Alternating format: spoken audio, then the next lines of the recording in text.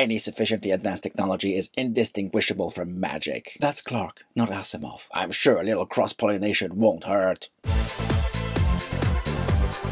Commander Fennec here, and mathematical prophecy turns into religion and control. And that's why Hari wanted to create a second foundation, to keep the first one in check. Something Gaal interfered with. And so leads the path to Armageddon. Well, that's the story anyway. On the Emperor's side, we get a glimpse of what the clones do to overcome the effects of genetic divergence, which seems to mostly concern itself with table manners. And we also learn that Foundation sends clerics to the systems abandoned by Empire to essentially recruit them to their side with flashy magic shows. Hence Arthur C. Clarke's quote. We meet one of those clerics, Poly Verisof, who's the only one still alive from the last time Hari Seldon stepped through the vault on Terminus. He looks damn good for a 148 year old. And he's quite a character. And Gaal looks to the future to see a devastated world. Hence the title of this episode. She not only looks into the future, she was actually there. Nice parlor trick. I don't know, something felt really off with this episode.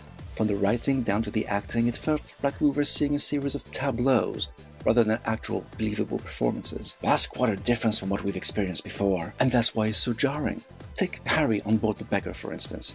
We learn he's been conscious in the construct ever since Gaal trapped him there. So, for well over a century. Exactly, so he's understandably incredibly pissed off, unimaginably furious in fact.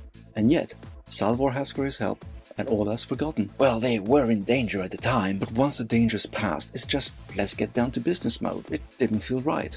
And the same applies for the clerics of Foundation we see on the backwater planet of Siwenna. You have to ask yourself why the local population would buy into these cheap parlor tricks anyway. And why does the Vault on Terminus act in such a devastatingly cryptic, some would say godlike way?